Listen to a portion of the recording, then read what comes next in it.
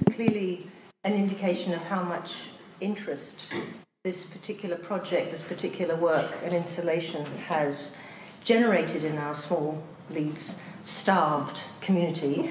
So we're very, very grateful to Tetley for bringing us this work and very grateful to you for not only giving us the work but being here to talk about it. So I want to first welcome Tai Shani to Leeds.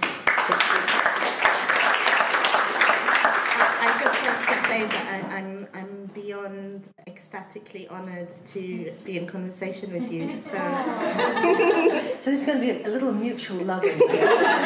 anyway, I think we're, we're as honoured and delighted to have you here, and I think there'll be lots of people who have questions and thoughts about the work that they want to put. I can see lots and lots of uh, artists present, and obviously other visitors to the to to Tetley. Is, is that not? I want to keep back a little bit further. Okay, so um, we've got a little plan today, which is I'm going to do a bit of an introduction, and then I've got a series of questions, which we're kind of going to go in ever sort of closer circles to get to the work to enable Tai to take us with her through the different processes uh, and deal with the different aspects of what we have upstairs in terms of um, being a major, major artwork which I'm going to say the beginning is a kind of epic, you know, this is a kind of feminist epic of sort of almost operatic in its scale, which is a very uh, rare uh, project of such depth and extension, so we want to talk about it. But um, we've agreed that I'll start because one of the reference points that Tai has given for her work is um, the name of a woman called Christine de Pisan. She really was an Italian, Christine de Pisano, she, her father was an Italian, but he became a doctor, he was a medical doctor who served the King of France in the late 14th, early 15th century. So she was moved to France and became francophone, um, as well as obviously probably having uh, Italian. She had to have Italian because one of the sources for her work is the great uh, Italian 15th, 14th century poet Boccaccio. And this is where there's a link with me. So, in terms of um, art history, Boccaccio wrote a book based on immense amount of culling from all the sources in the past, the names of famous women. So Boccaccio's of famous women, the uh, Mulieribus Claris, is for was for fe- early feminist art historians such as myself. This text, which proved, because it provided us the names of artists who were women from classical Greece through to the Roman period and internationally and always all the way up through to the medieval period. So if anybody says to you, I don't think there are any women artists before the 19th century, 20th century, just tell them to read Boccaccio. But of course, the famous women weren't just artists, they were women renowned and that's a very interesting notion of who gets remembered, who are the women who have been inscribed into Jewish history, into Babylonian and Persian history, into classical Greek and Roman history, and ultimately into Christian history. And for what are women renowned once you go through the whole of the Middle East, North Africa?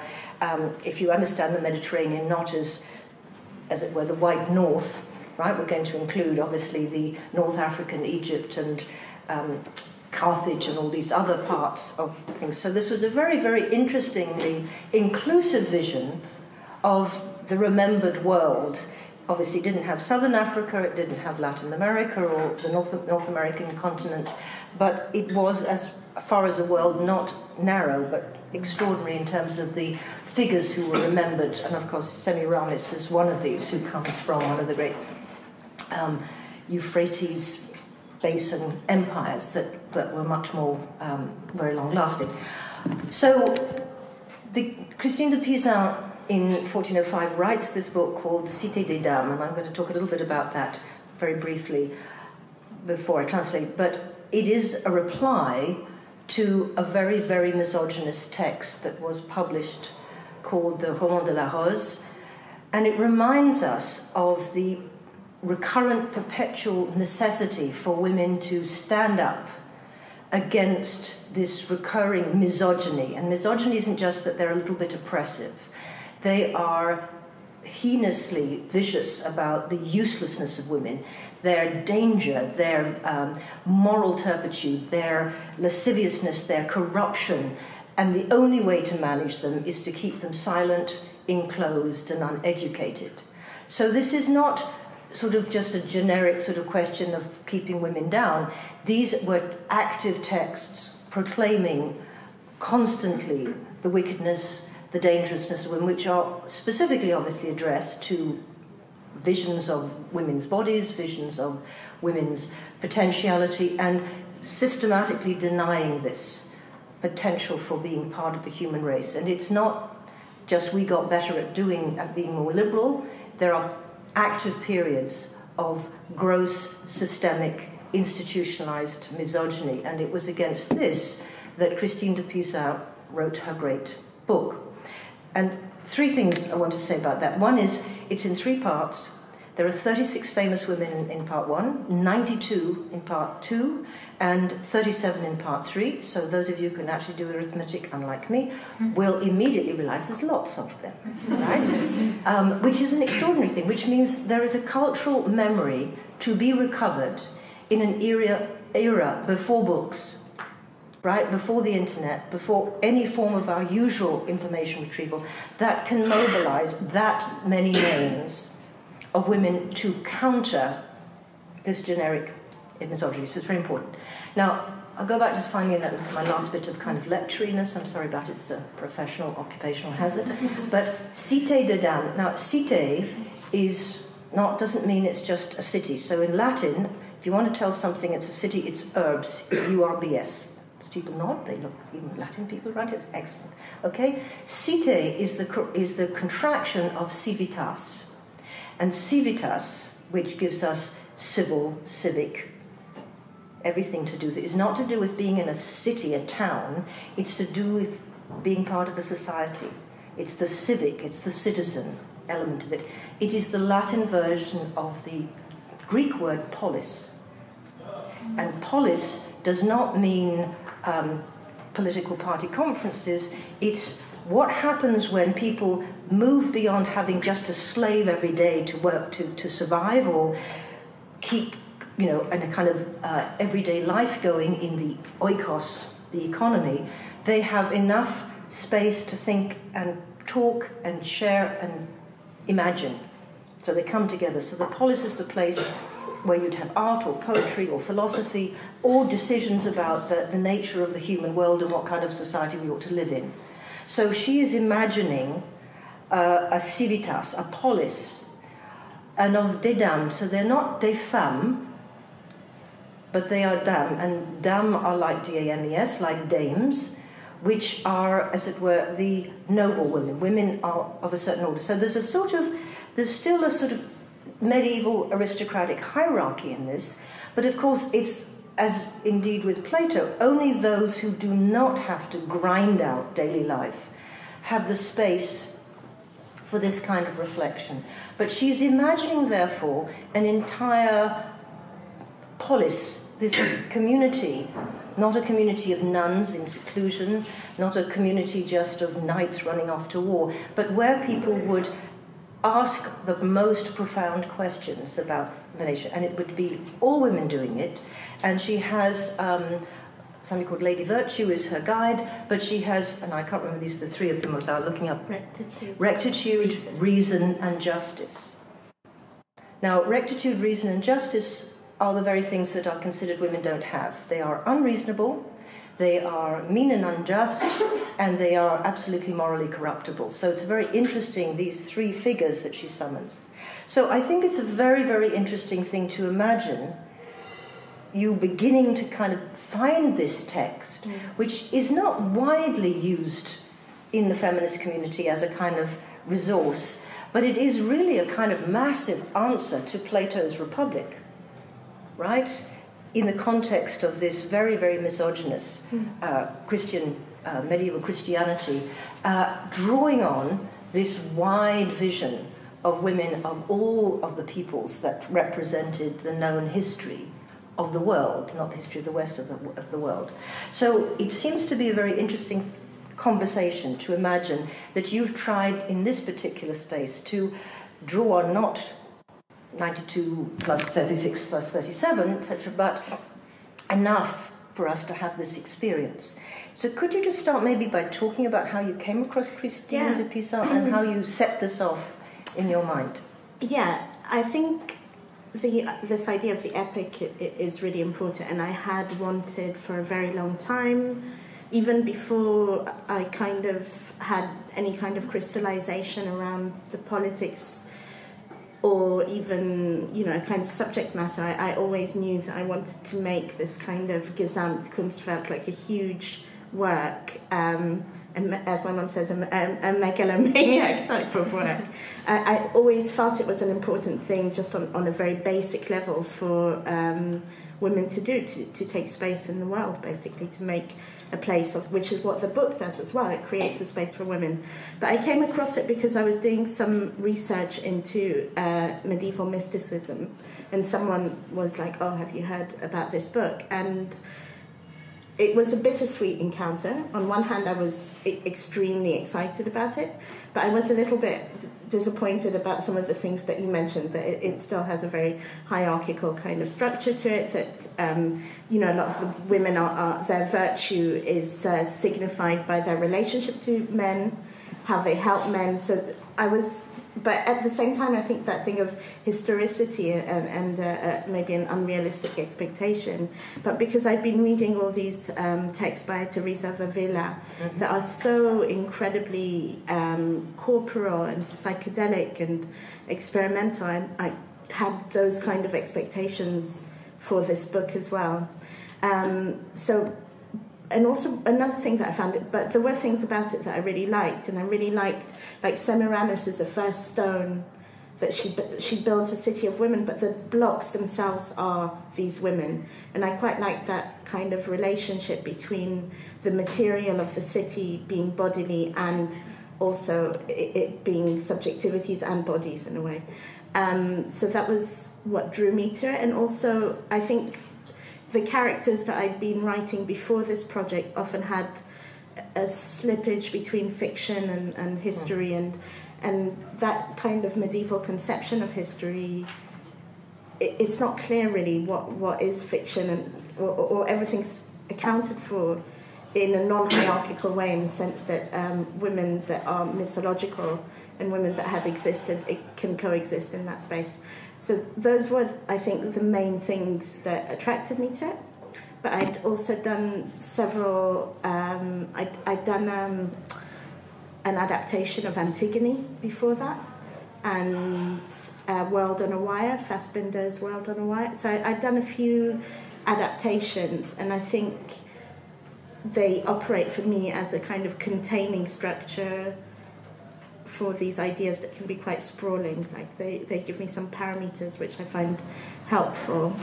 So I decided to embark on trying to do a mini ver As I I only have twelve characters in in mind, but a lot of the characters draw on these ideas that are in the book. This kind of conflation between, uh, like for example, there's um, um, three characters I think that I could say um, are more representative of her type of world, let's say, which is uh, the medieval mystic. So there is a, a medieval mystic that draws on on writings of various medieval mystics and also accounts of anchoresses. Um, there's Phantasmagorgasm, which is a, a writer of Gothic fiction. And there is also Sai Chik Anem which is also a kind of medium. So th- those to me were interesting historical moments where women had a kind of access to um, a public life and self realization through a supernatural route. So, writers of Gothic fiction, um, in, spiritualists uh, in Victorian times, and medieval mystics were, were like these Yeah. anomalies that kind of came through this strange type of supernatural backdoor in a way onto a public stage. And I, I really like, yeah. I, I really want to take that up a little bit because it is very fascinating this sense of um, how you would put together, in a sense, these well, two things. One is, uh, are we policed to think, you know, that we can only have sort of historical heroines, as opposed to the fact that most of us are uh, furnishing our minds and furnishing even our sense of ourselves with stories, with images, with performers, with films that we've seen that represent, so we all term of character mm. becomes a really interesting term, but it's also one that we're not kind of used to, in one sense, in the visual arts. It's partly literary or partly cinema.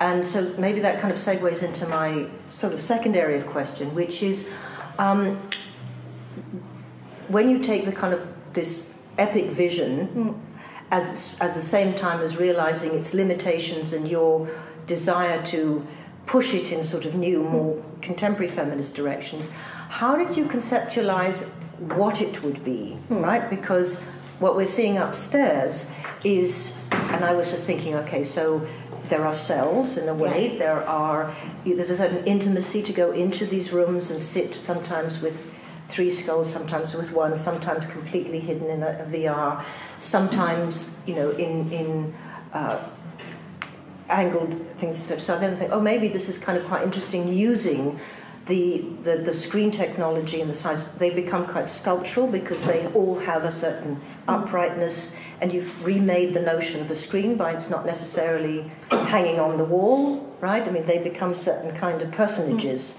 mm. in an almost kind of like Louise bourgeois kind of personages, mm. they're all things.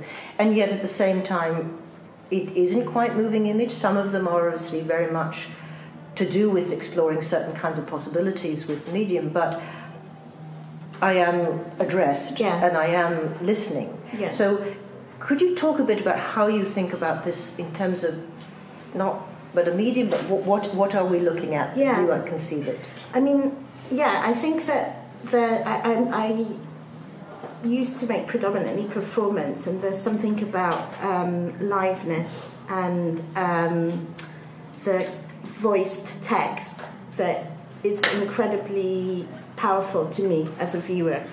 Um, and I think that, as you say, like some of the moving image works, I wouldn't, I wouldn't show them in a screening, or yeah, I wouldn't. Particularly these kind of long monologue. So some of them are documentation, some of them are, are addresses. They are declarative pieces of moving image, I guess. But I wanted there to be that uh, face that looks to you, that kind of sense of a connection with a body. So it's not just hearing or reading the text. And also, I mean, even on a very, um, you know, like, um, like, well, on a formal level, I guess, I, I think there's something about the, the a person talking to you that you listen to in a different way than reading a text in a gallery. And that's something I've struggled with a lot because a big part of my practice is the writing, the script. The, the script in its totality is 90 pages. Um, it's quite extensive. I don't really, I never really expected anyone to go through all of, you know, to sit through all of them, but I, I did want this text to be delivered in a way that wasn't here's a pile of papers in a gallery or here is uh, a subtitle. You know, I was really interested in finding a way to kind of conserve some of the urgency. The texts are very, on one hand, like they are this, um, you know, city, but they're also all like very, very confessional and very personal, as well as being um, these more declarative kind of things. So I did want to find a way to conserve that sense of attention and intensity. I'm very interested in intensity, and the uh, that sounded awful. I'm really interested in intensity, um, but I am. I'm very interested in the idea of an, of what happens in an artwork when it is an intense experience, or what happens you know, that's why I like live work, I think, because you do have this kind of, you create the conditions for that encounter for the viewer. And those conditions can lead to a very um, focused experience. I, I, like that. Like to me, that's something that's very important. And going back a little bit just to the idea of the epic, because it does relate to that. I think you know all the not all the writing, but most of the writing is about erotic love, physical pain, self consciousness. Um, these are experiences that are kind of on the margins of language for me. In terms, you know, that as a writer, they are a challenge that I really enjoy. Like, how do you articulate these? You know, the first text that I wrote, which was the, uh, the adaptation of Bluebeard, I, I was in really intense Lacanian psychoanalysis at the time, and I I remember like the visualization of some of that, uh, some of the violent. It's a really violent text, and some of the wounds and like gashes and feeling really like physically sick and, and really wanting to kind of be able to be convincing and somehow to speak truth of extremity, if that mm-hmm. makes sense. So this idea then the epic is similar to that. It, it, it's it's an affect that I feel is a great kind of platform almost for transformative politics, even though it's it's it's not uh, Marxist at all to be affect reliant in that way. But I, I do think it's an interesting um, affect to explore these things. So all the work has always that's been the kind of focal point in terms of thinking of an affect is this epic that's both in terms of the duration of it now, but it's it's something else as well. It's something that you know it's a place to dream in a way. Mm-hmm. Okay, so keeping with that way of, of thinking, it's taking to the sort of the next kind of area of question, sort of in my little kind of going deeper and deeper into it, it which is um, what is the sort of particular experience of whoever's going to engage with the work because it's obviously articulated in a particular way mm. here. It was, must have been articulated in a different way yeah. in Glasgow, and we've got a documentation of a performance. I mean, I think I, I, I love performance work. I, I find it very fascinating because there's always a risk involved. Yeah. Failure, yeah. You know, not just of, of, failure, but, you know, can the people bear to hear what you're going to say? Mm. Can you bear to actually say it in, mm. in these sort of texts? There's a kind of charge yeah. which is not present yeah. in things. I mean, it can be, you can make it very boring, or you can find ways to do that. So there's obviously coming out of performance into something now where um, no one is probably going to see all of it, yeah. you know, on that kind of level. Yeah. What is your expectation of what people will take from the fact that between your having the possibility of putting this all in place, what, how do you deal with the fact that people will wander in? You know, what would it be to enable people to say you're going to have to sit and sit through at least one of them fully? Yeah. Because you, you don't know, when you're arriving, you, you don't know where the point to begin. Yeah. I noticed in, this, in one of the other rooms where you do actually get a credit sequence. Okay, now yeah. hold on to that one because that's about to start again, you know. Things. But in other cases, you've got a a wandering visitor. Yeah, I mean, I don't, I don't think I've um, uh, cracked it in in that sense. I think I don't also expect. I mean, I think there's a register to the work. I hope these are my hopes. Obviously, I don't know. You can all tell me I'm I'm, I'm misguided, um, but. I would like to think that there's a type of register in the work that isn't reliant on, um, you know, I guess more traditional, you know, ideas of where does it begin, where does it end, does it make sense? I mean, you know, like someone said, oh, the characters are all quite similar. It's like, yeah, they are. Like they're not, you know, they're not, I, I, they're not like uh, expositions on, you know, they're not plot driven. It's very, very uh, nebulous as a space um, in terms of what the text creates. But I, I don't to me that's part of the project in a way. It is like i'd like it to be like entering okay i'll tell you what i'd like it to be like what i'd like but i really don't think i've cracked it yet. So i don't want to be misinterpreted. I didn't do it this time but this is the dream. When i was really young i um, was obsessed with this quite cheesy film called valmont which is a milos forman adaptation of dangerous liaisons and I went to, see, I was 14 at the time, and I went to see it maybe like 15 times in the cinema. I went and went and went and went, like every few days I'd go. And I, it was an absolute obsession. And I'd really miss the kind of, yeah, I don't want to use that word again, but like that immersion in the narrative, in the visual and the sound. I missed being there. I longed to go back all the time. And I think somewhere inside me there was a hope that it would be different. You know, that the person that I thought shouldn't die wouldn't die next time. Or I, I wasn't complete. I think I was too young to completely accept, you know, the hard facts that it's a production. It will always begin at the same point and end at the same point. I did want there to be this kind of capitulation into something completely irrational, and I'd go and, and you know, he wouldn't die or something would happen differently. And I think that kind of longing and that, com- I mean, that's what I'd want. It's like a sense that you want to go back. You want to go back into it. You want to feel more or know more. And also, I hope there are, I mean, I think there are experiences there that are, I put myself in a very um, open, vulnerable place that I hope can create a kind of space for solidarity as well in terms of speaking um, about, you know, trespassing into the forbidden or something like that.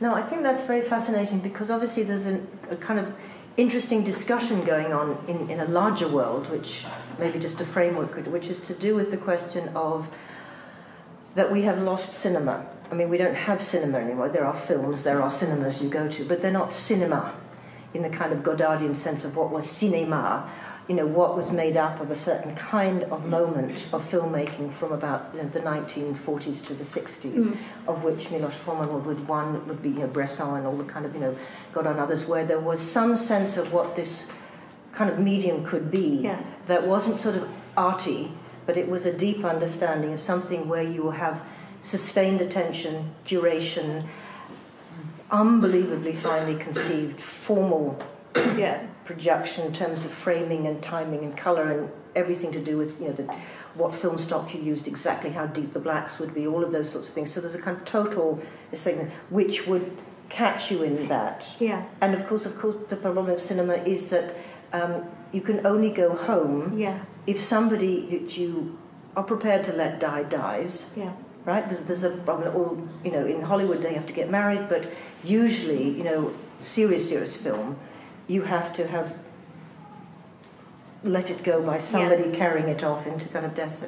So I think that's kind of interesting. Whereas now with with moving image work, we are these sort of we are these wandering viewers you know that we, we don't there's nothing that makes you sit down for things you have to come in and mm. you know if you do what I was doing was going around it in the, the last you know few visits etc people wonder who is this woman who keeps sitting there you know stolidly you know and then comes back and sits through it again you know that that's very bizarre behavior and then people would come in and you'd think, well, maybe just because I'm sitting here, they'll begin to get the idea. You just sit and you have to see it through. And no, you know, they, they come, oh, do I like it? Do I get, do I get it? No, and on they won't. So there's something very curious about soliciting mm. that memory of what it is to be compelled to remain to go back. I did go back to Paradise. Yeah, that's more conventional film, isn't perfect, perfect. Because I thought, right, you know, but there's something there because yeah, it is. But much... that was made for that I've screened in like more kind of conventional, conventional. I mean, yeah, it's, it's a monologue to camera, but it is it does rely on more kind of familiar cinematic exactly. tropes and yeah, it's cut in a certain way. It has structure to ish to it. Mm-hmm. I mean, I think like thinking whilst you were talking, I was just thinking back on, you know, like this idea when when I I'm 43 now, and when I became an artist, um, you know, the idea of clarity was really at the fore in like the early 2000s. You know, like one-linery kind of jokes was big.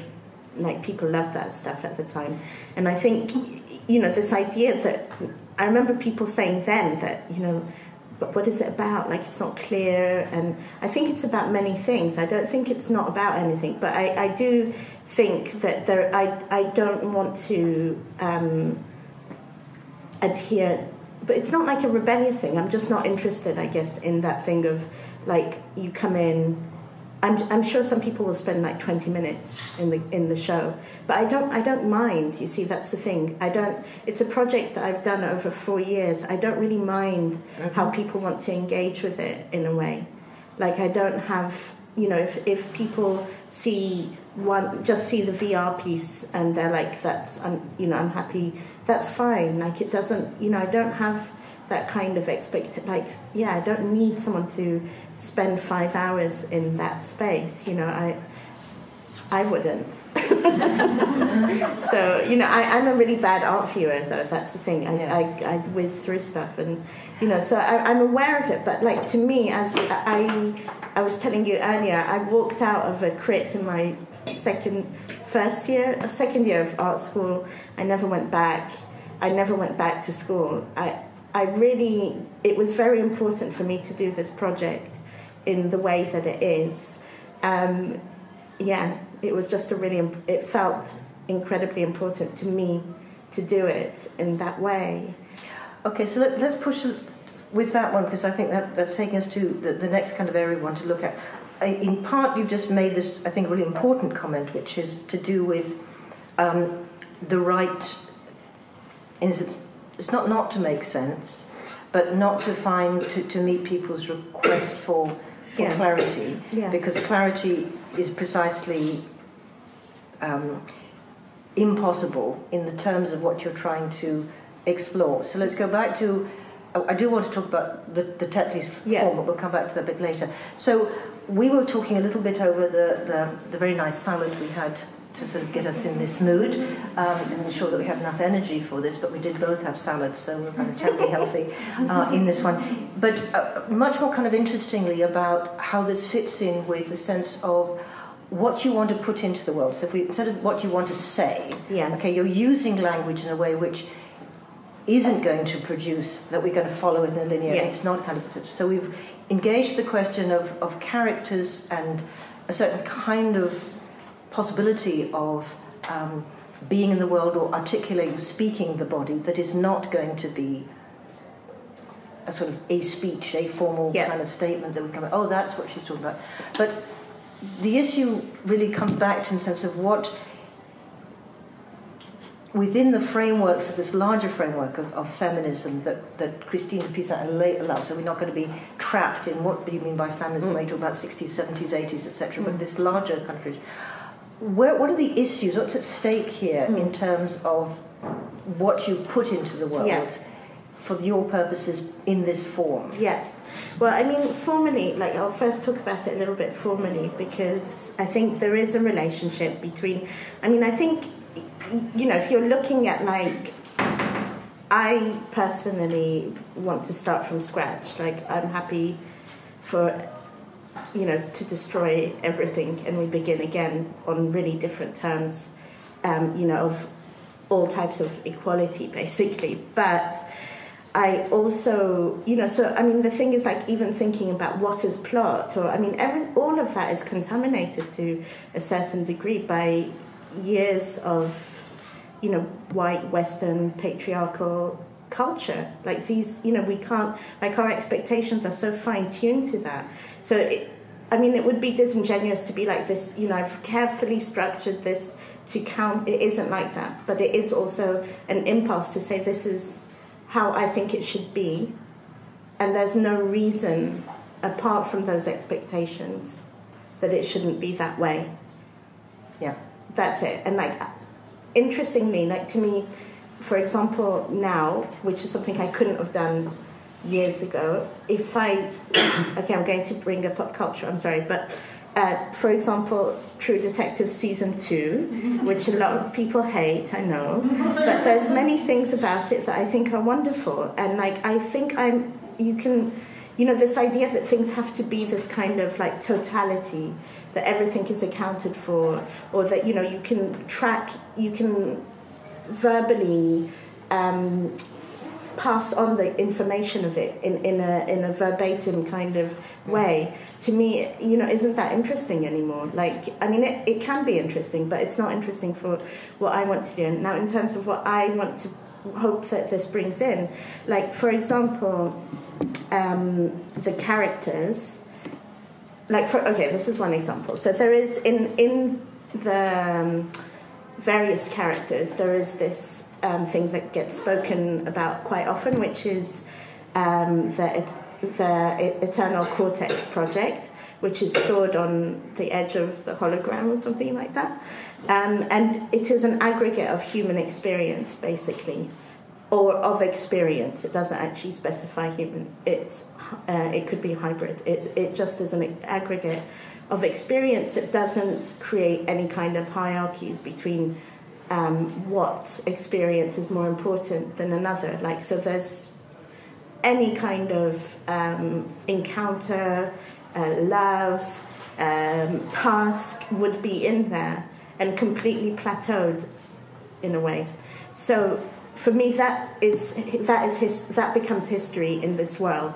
So history isn't like predicated on ideas of conquest or like we then lost this and this happened or then we left the European Union or you know there's not there aren't these kind of um, collective things that are more important. So you could say it's a very atomized maybe idea of what history could be, but it's also like accounting for everybody. It's like everybody's history in this huge, almost infinite database is equal.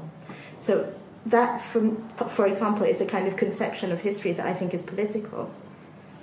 Mm-hmm. So that's one thing, let's say. okay. Um, then there's more basic things like what we were talking about over uh, our lovely salads, which is that when I first started this project about, well, four years ago was the first iteration, which was at the Hayward Gallery, and it was three characters, but I'd already started thinking about it prior, which is probably about five years now. So when I, when I first started thinking about it, um, the first text, that text that um, I wrote under um, in psychoanalysis, was for a death metal fanzine that um, is called Buried, and I wanted to really engage with the kind of language of these death metal bands called Gorgasm, and you know, it's like a kind of a catalogue of, of really heinous, uh, violent acts, often with a, a woman's body as a kind of surface. And at that time, it did feel radical to me to transgress and write as a woman about these acts. It felt that there was a place at that time for those kind of expressions of uh, feminism. It felt, you know, it had an urgency at that time. And to inscribe um, the body into culture, to inscribe, to diz other female experiences of bodily experiences into culture. I've shifted, my, my kind of politics have shifted, and I, I'm not as convinced anymore about, you know, like this. I'm more interested now, I guess, in the material ramifications of um, the choices we make than this kind of completely imaginary world, which now I, I like to see more as a kind of strategy as opposed to the thing in itself. So yeah, those are things like yeah. Okay, yeah. So let, us talk about that a little bit more hmm. because I think that's also quite a kind of interesting thing for, for people to think about, which is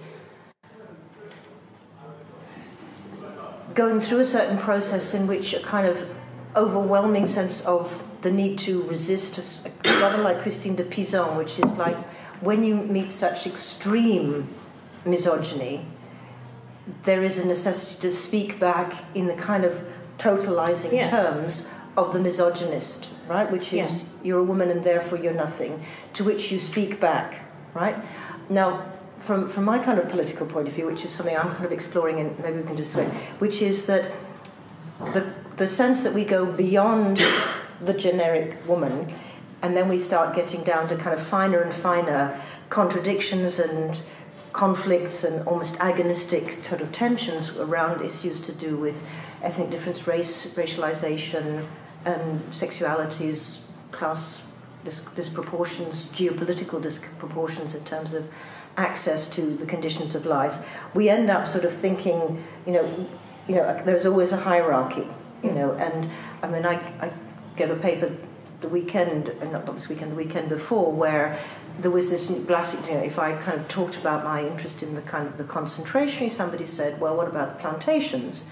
You know, and I thought, well, this is the classic thing where we start kind of cal- a calculus, yeah. which is an important thing to think about, so I don't disown the calling out the question to me, but at the same time, how do we negotiate this conflict? So you're offering, in one sense, a, a, a, a kind of utopian sense. Okay, what would it be if you said to people, we have some kind of way in which everything is there and we dispense with these kinds of things. Mm. At the same time, you're also saying that there's a certain process between the grosso modo saying some, that women's experience has to be disothered, and then you say, well, what women am I speaking of? Yeah. What is this? And how do you do it in such a way that it's not more and more antagonisms, yeah. but finer and finer layerings of this complexity. Yeah, I mean that's exactly yeah that's exactly kind of it. Is that you know from feeling like that these uh, experiences that I began this project with could be universal. You know, I've completely uh, like changed my mind about that. I mean, I can I can this uh, not a cop out, but I can only really write from my experience really and I really do not want to you know, write on behalf of, of experiences that I don't fully understand the nuance of. It's very important to me um, to be accountable for the writing that I do. And I think there are lots of areas where, where you know they're not universal in terms of a totality. I think there are areas where there could be um, moments of solidarity within these experiences, but I, I don't want to speak on behalf of women. Do you see what I mean? That's such a crazy like idea. But I do in the writing I've tried to keep the gen well it's not the gender but the, the organs let's say are everything is very very fluid in the writing so the um, gender of the person switches and, and the organ switch you know there was there's no fixed point, and also I, I was explicit to not uh, write. The women aren't um, racially defined in a way, but they're also not speaking on behalf. I can't speak on behalf of a woman of color. I can't speak on behalf of a disabled person. I don't feel I have the nuance to do that, and or the experience to do that. You know, I just uh, so. I, I mean, I, I'd like to think that there, there are uh, points in the writing that can offer bonds, but I don't think it, it's um, a, a, solution to, you know, that's what I mean. I don't, like, I, I do. I, the project has been amazing for me. I don't know what it can, what it does for the world. As I was saying to you, like you know, I'm sure there are people that maybe are coming to see the work that haven't had heard of a lot of these politics. Maybe, maybe for them it is a, a very strong. You know, f- for me now, I feel like I need to be very uh, careful and considerate about how I, I move forward because I, I do want to I want to contribute, basically. You know, I want to contribute in a way that is more material than just creating a kind of fantastical space to think of the body in, you know, mm. or to think of subjectivity or sexuality. And I really want there to be a meaning for this work that could potentially, I, I don't mean this work, this is done now, but I mean for work that can extend beyond the, these rarefied still very white, very privileged spaces, which is the art world. I, you know, I want to find a way to transcend that, basically. So I, I am a bit of an impasse. But you know what's weird about that is that I've gone complete. Like now, I'm just making sculpture at the moment.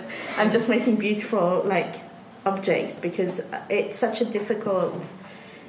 You know, if, if you are really kind of profoundly honest with the sphere within you work in as an artist, you know, it's a very toxic environment, not in terms just of the personal relationships, but the politics of it are absolutely catastrophic, you know. So, yeah, sorry for that.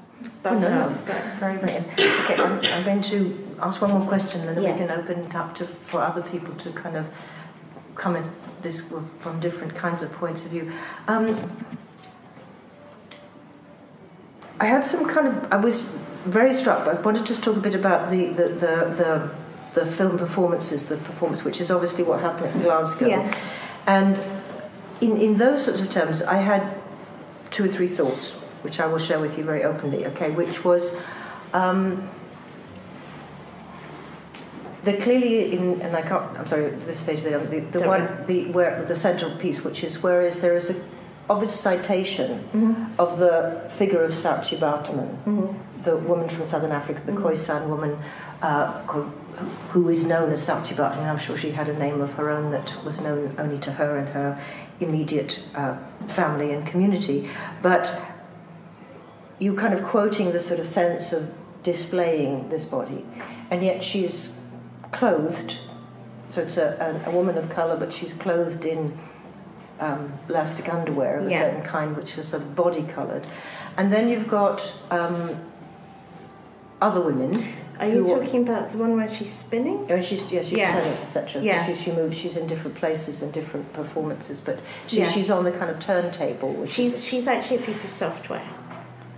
Okay, see, she's a piece of software. Yeah. Oh, right. Yeah, um, that well, that's interesting because in okay. terms of the the casting, uh, you, you know, like that's what's kind of um, was one of the interesting parts about delivering this project in the real world. Um, was you know in your head you're like no one has a gender no one is you know like everything's kind of quite fluid but then when you have to have people um, representing these characters so it was very important to me that the cast was diverse um, that it wasn't um, just cis women, that it wasn't just young women, that it wasn't white, um, and also in terms of the, these very nebulous characters that you know there's not much between them really. But I did want to. I was very very specific with who I cast for what character because I wanted. So the woman on the edge of time it, it was um, uh, represented by Jo, but she, she's a 70 year old trans woman. Um, so I did think very carefully about what who the characters were, and the medieval mystic was um, Hannah, who was a woman of color. I wanted to make sure that it, there was a reason why I chose each person to be in the role. So um, Toby, who was um, the Nemesoid character, they played that role throughout. So everyone played the roles. They everyone played the same role, even though in a lot of the episodes they didn't do anything. If that makes sense, like mm-hmm. you wouldn't have known that they are a, ca- a specific character. But that um, the Nemesoid character is a piece of software that um, connects that that database that I was telling you about earlier um, it's a piece of software that does these simulations of experiences that are really on the margins of, of language. So all the experiences that um, their character were kind of talking about. One was based on Christina the Astonishing being eaten by dogs. Um, one was, don't hate me, there's a William Burroughs reference in it, but it, one of them was uh, an encounter with William Burroughs and his cats, and him saying, when you cut into the present, the future leaks out. Um, one was like, pers- you know, so, so there were like all these experiences. So, so they were this kind of immaterial character, but also a, a very extreme future type character as well. Mm-hmm.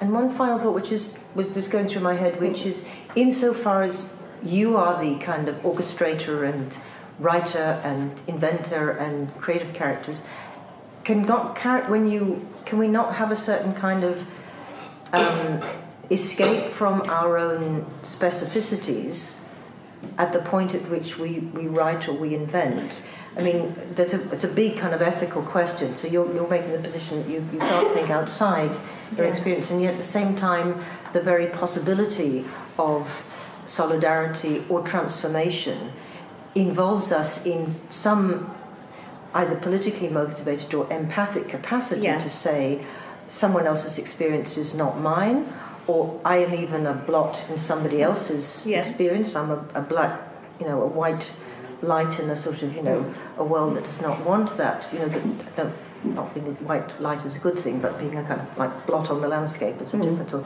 But I mean that, that this capacity to have a certain kind of transitivity isn't that crucial for us in a sense to to produce the kind of utopic yeah. gesture? But I think for me, like having, I mean, empathy and solidarity are words that are extremely overused, but like the, let's say, the core idea of, of creating a space for solidarity is by nature transient. It's not a space that is fixed in time or space. And also, I don't think that that negate. I think solidar- um, empathy doesn't negate like a recognition of one's own um, kind of field in a way, or where, how one encounters the world. And you know, I think there are um, specific.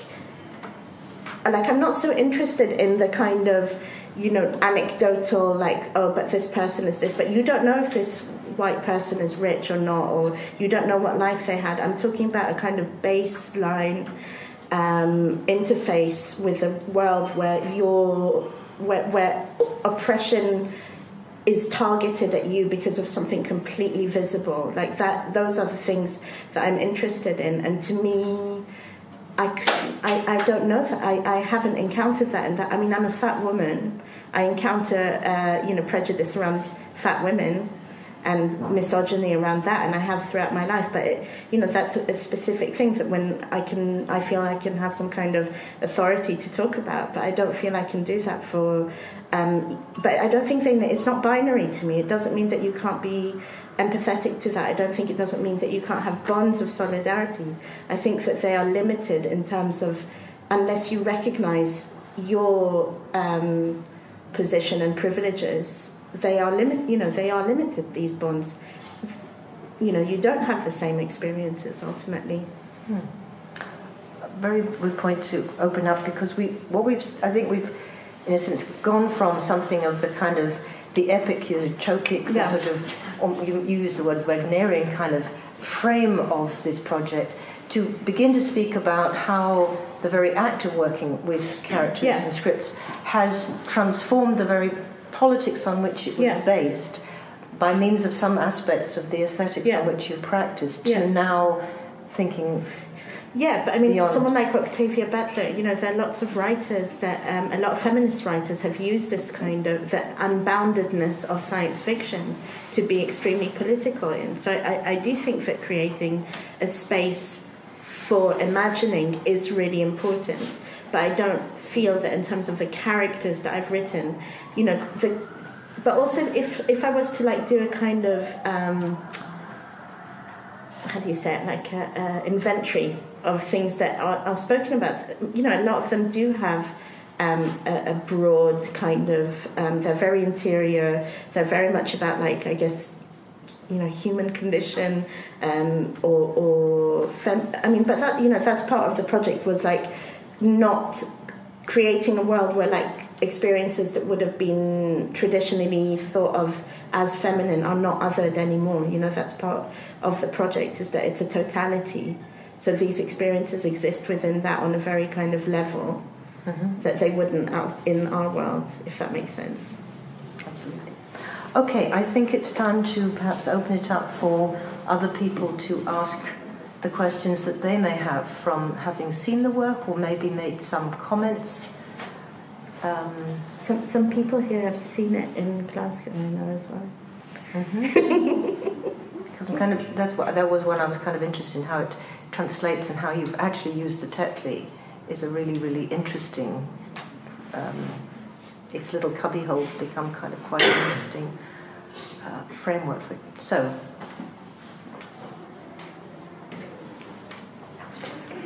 Um, I really, really enjoyed the exhibition, so thank you so much. Um, but I would love to hear more about how the, your process of writing, because as I was in the exhibition, the words that you used, listening to that was was um, a really immersive experience, as you kind of were talking about. So, ha, like, how did you how did you bring it all together mm. and write it? Um, well, it's going to be published as a book as well. So just thinking about what how I uh, define that kind of writing. I've called, I think they're calling it um, a book of science fiction feminist prose or something like that. Um, I, I, think like the language is very dense and very floral, and again, it, it's thinking about this idea of the epic. So I, I think I was I've consistently chosen words that the kind of affective uh, weight is very heavy. If that makes sense.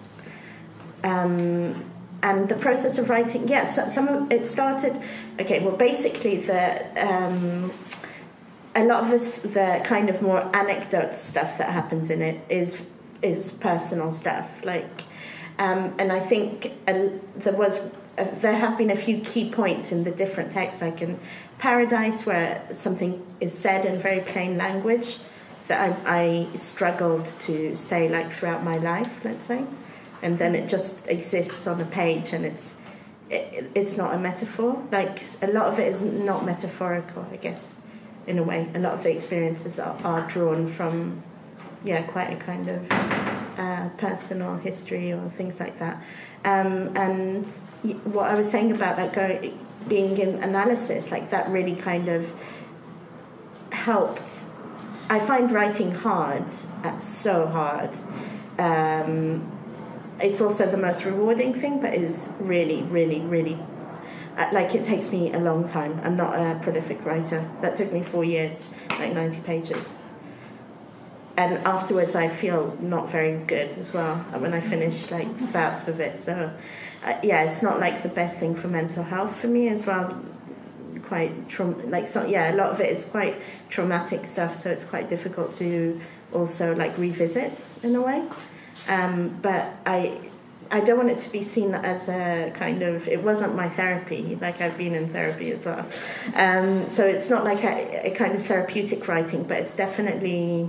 Um, I looked a lot at these writers like um, Teresa of Avila, and also at the time when I began writing, I was really interested in Hélène Cixous's idea of écriture féminine and like writing from you know, kind of uh, inscribing woman into the world. So a lot of that, that kind of writing. But you know what's interesting is looking at um, these kind of medieval texts and then thinking of écriture féminine. They are like they are that. That's what they are. So I think that was the kind of sphere that I wanted the writing to happen in, really. Um, but I don't have a method. It's chaos and pain. Uh, so, can, yeah. can, you say just a bit because people may not know what Lacanian psychoanalysis is, but this is yeah. so much connected with language, isn't yeah. it? Well, I mean, actually, weirdly, they don't say very much. Well, that's right. That's yeah, they uh, they do. They they say nothing. They don't make eye contact. It's really it's quite brutal. I don't really recommend it. And they also choose the length of the session. So you go um, and like I'd cycle across London get there, and then five minutes afterwards, she'd be like, It's not the pornography. We are done for today. And I'd be like, Okay. And that was it. So I, I, I yeah, I, I, fa- I mean, I found it like it was very you talk basically. You're just talking, talking, talking, and then um, there's often something that's said that like leaves you in a kind of space to think about what you'd spoken about. I guess. But I, I didn't find it great, I have to say. I think that piece of really violent writing was probably the best thing that came out of it. I, I stopped after not too long. Okay. Yeah. I, I, I mean, I found it interesting as a process. Like, I'd like to watch a film about it. But actually, like, sitting in a room with someone looking at your bag, not making eye contact, you know, I found it too much. It's like, yeah. I mean, I, I want, you know, like, because you perform in analysis, you're performing um, and someone being analysed, basically. So, like, when you're met with this real, like, someone who doesn't, like, kind of um, acknowledge, y- y- yes, I guess it's about breaking down the ego and stuff, but I think acid's better for that, personally. Another question. Are you, are you stretching or, que- or asking a question? That, that, was a stretch, but I can ask a question. Yeah, that's good. Would you like to? That would be lovely. Uh, I'm really interested in this like iterative way of working.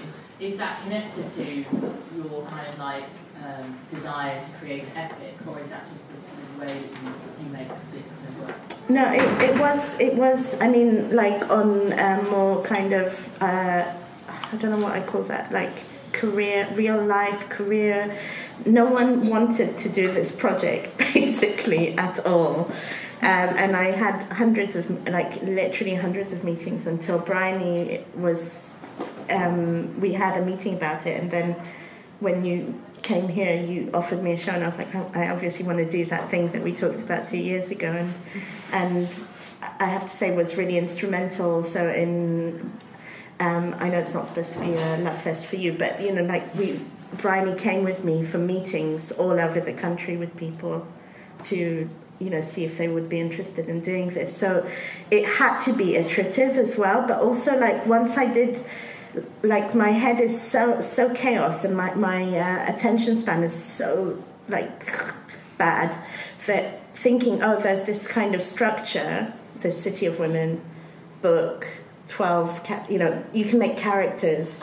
So then every opportunity that i had let's say over the years it's like little bits of it have been in loads of different things. So you know i do let's say someone would be like, "Oh, do you want to do a performance?" I'd be like, "Oh yeah, I'll write a character for that," and that would be a new character. So it's a really like I think just. Uh, as, as someone who teaches, as I, I teach at the RCA, um, thinking it's a really useful thing to be like, even if you don't, no one knows what it is, but to kind of in, create a framework that's quite vast that you can then inhabit is really, really, really useful. Like just in terms of you know, instead of being like, I've written about a vampire, I don't know what, uh, you know, it's like, oh yeah, this is a vampire, it's one of the characters, you know, of, so it was quite a, a, a, good way to make work for me. Um, and like the Nemesoid character was written, Serpentine had a show about Hilma af Klint, and they asked me to re- respond to it um, and curate a day that was called Mysterical. like hysterical but mis- mis- mis- mystical as well. Um, it was it's weird because it was it was like a fake name, it, just like a joke, and then I saw it on there. Um, leaflet. Yeah, and I was like, oh shit, okay. um, but for that, I wrote the Nemesoid character, and, and for that character, it was um, an actress read it to camera, and there was a live feed projected on a monolith that I'd built. So then I used that thing of the live feed in, in Glasgow. The narrator read to camera, but there was a um, uh, what do you call it? A monitor with with her face, so it was mediated and live as well. And I quite liked that kind of strange, yeah, little loop of seeing something live, but seeing it happen mediated as well. So the iterative thing was just useful. It was also like the only one, you know, like by the time I applied to Arts Council to get the big money. I had like eight characters already, so you know, also gave um, people that were like, "You're never gonna." Well, it first started as a Roman orgy that had uh, 29 real people and 29 uh, body silicone dummy body doubles that I tried pushing that for two years and people were like no no no. Um, and then it became this. So like it just meant that I could be like look I've done all these characters already. They've been at all these places. It it can work. Like you can trust me. You can believe me. Yeah. Give me the money. That's yeah. right. yep. Right um, I don't really know much about your background. You mentioned about that you been to a crit and then you just walked out of art school, yeah. never to sort of go back. Yeah. How did you end up finding your way into the art world and, and becoming a successful artist? In, what, what path did that take? Um, I'm still very poor, by the way, so success is very. Um, I grew up. I grew up in a commune in Goa um, with really kind of hardcore hippie intellectual, druggy people, um, very gay. Like not, uh, it was a house with my parents, his my dad's third wife, and lots of gay men that were very flamboyant. Um, so I had a problem with authority from. I, I didn't. I couldn't read or write when I was ten, basically. So as soon as I we we moved to Europe and I had to go into an educational system, it was like shit from day one. Like I didn't get on with it at all. Um, so I think that I just have a very bad relationship with authority. So when I went to art school, and people were like, I, I it was a, a fight about like some really stupid thing. I can't remember even but I, I, just I couldn't accept that someone would know better about what I do than myself. um, and then I was my, my I, I'm Jewish. My parents were living in Israel, and I, I obviously did not want, well, not obviously, but obviously to me, did not want to live there and came to London. I was born here, so I had a passport. And I just was tenacious as a, a terrier dog. they say they're quite tenacious, aren't they? Mhm. Yeah, I was like that. I, I, I, but it's a very different world now. That's the thing. Like when I came to London, there were loads and loads and loads of amazing artist-run spaces that you could just be like, hey, um, I've made some videos of kids singing punk songs in the forest, which was true. And then they'd be like, oh yeah, let's let me see your VHS, and you'd show it to them, and then that would be, you know, that could be enough to be. I actually called. This is true. When I arrived in London, I made a list of all the galleries. I called the White Cube. I was like, "Hello, my name is Tai Shani. I'm an artist. Can I show you my work?" and they were like, uh, they didn't even know how to respond. Literally, they were like, they'd never had a phone call like that, so they were like, "Oh." Uh, send a self-addressed envelope, I guess, and and so I called like maybe twenty. It, it sounds like one of these kind of American, um, you know, like stories. Like I called, and you know, finally someone said like come come in. It was a place called the Horse Hospital actually, and then I ran that space afterwards for twelve years, and they were like, come on in, come in, and they showed like these films with the kids singing punk songs and then it, but it was different it was different then like there wasn't like not having an ma wasn't like i mean it was frowned upon but it wasn't like the thing now that it's like an impossibility to imagine a You different way is now impossible- Sorry? You feel it is an impossibility. no, I, I don't. I don't. I mean, I think that artists have to organize more and take back some power because there's so many jobs now that rely on this production of art that they get salaries, they get paid.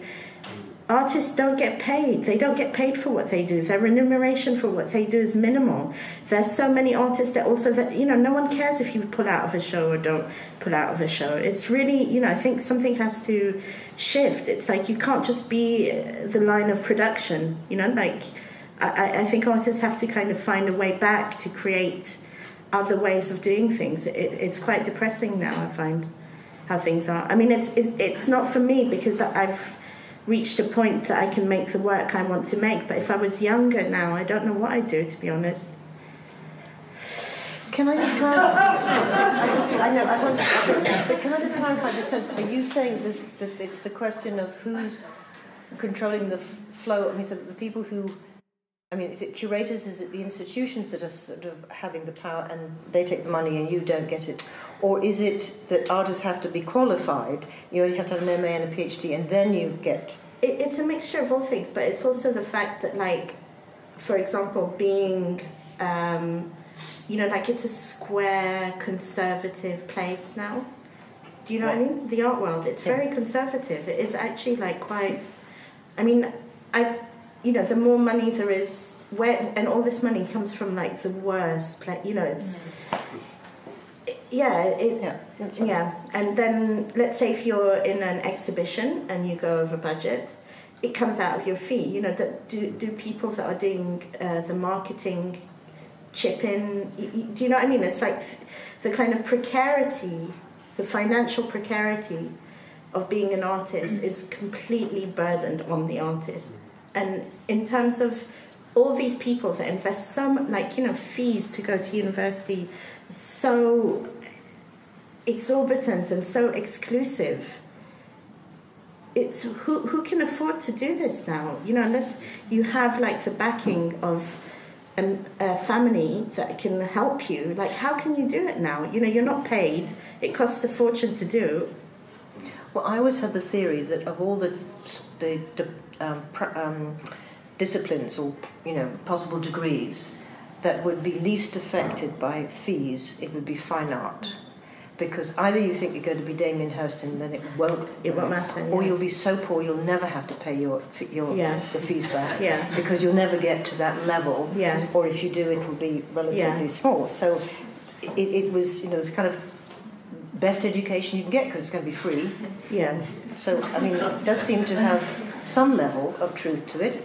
On the other hand, but it is based on that one. But the other thing I think, just which I think is about this general question, which is I think we underestimate, and I've just been part of what I've been doing this summer, the the degree of financialization Yeah. of art, to the extent that, like one of the figures that is, which is that you know there's something like eight million artworks in the Geneva duty free storage, which will never see the light of day. Yeah. And once you financialize art to that point, it's one of the points that Hito Steyerl makes, any attempt for us to expand the inclusiveness is Yeah. lost because finance will dictate the continuing, you know, the great white masters Yeah. of a sort who will be the sort of absolute gold ship investments. Yeah.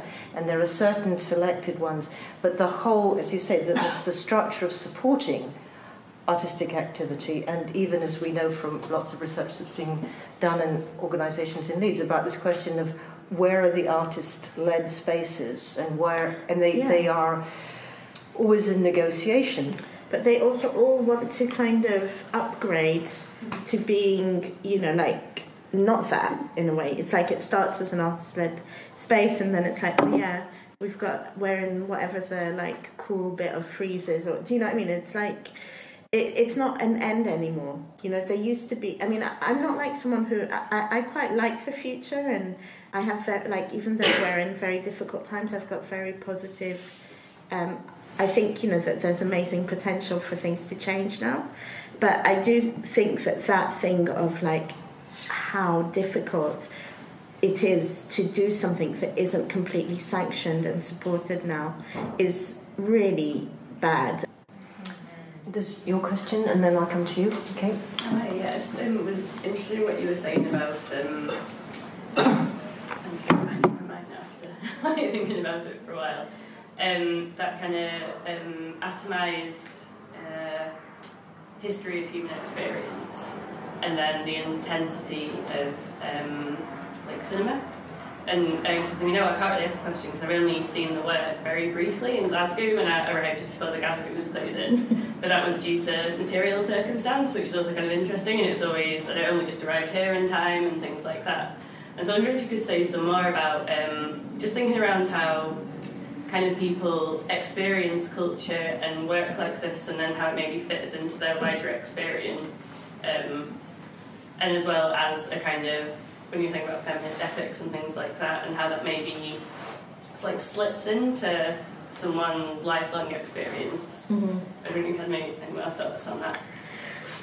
Um, I mean, I, okay, well, I don't know if it's completely answers your um, kind of question, but it, I think, you know, like thinking about, okay, so what is, you know, if, if let's say I'm preoccupied with this idea of, let's say, if you if you flatten hierarchy completely, how do you then, you know, what narratives do you draw and on what kind of um, systems of power, even if they've changed, do those narratives how are you know are formed along?